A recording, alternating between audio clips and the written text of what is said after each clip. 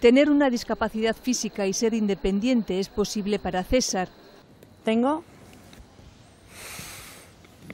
una pareja. Tengo una pareja. Con la ayuda de un tablero de símbolos Bliss que nos traduce Lucía, nos cuenta que hasta hace 18 años vivía en una institución. Ahora comparte un hogar con su Sí mujer es. en Ondarribia y es independiente. Es todo. Todo.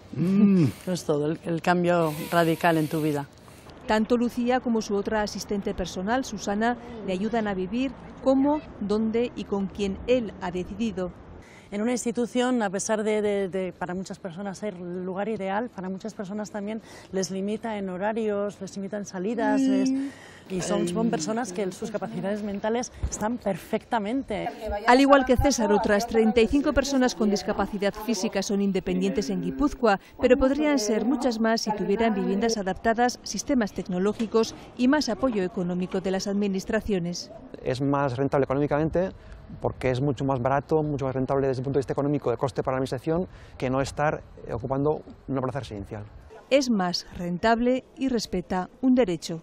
Esa libertad de elección y que no se, pueda, no se desarrolle una, una vida, un proyecto de vida que otra persona, otra institución ha decidido por mí.